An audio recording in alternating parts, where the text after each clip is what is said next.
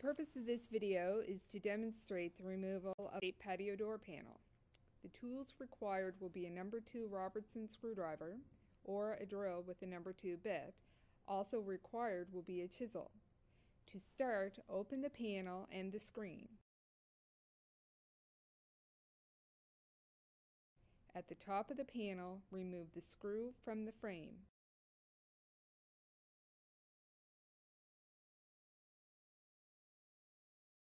Close the panel.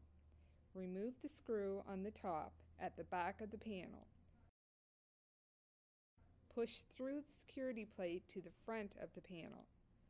Open the panel and pull the security plate out through. The panel is now ready to be removed.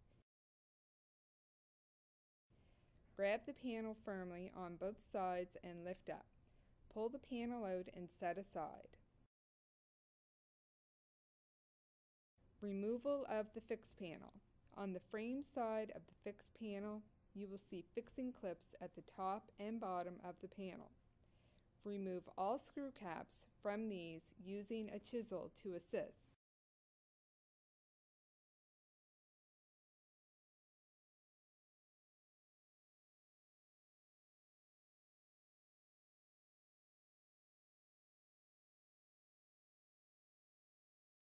Remove screws from both top and bottom clips.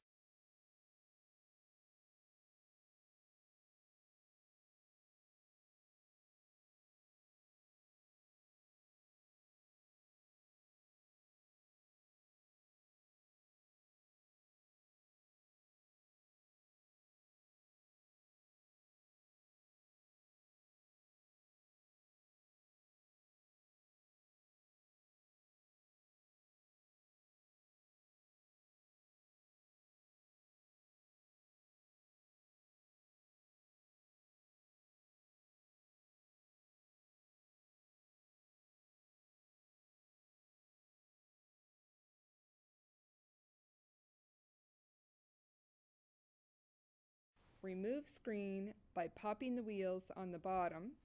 Grab each side of the screen and remove.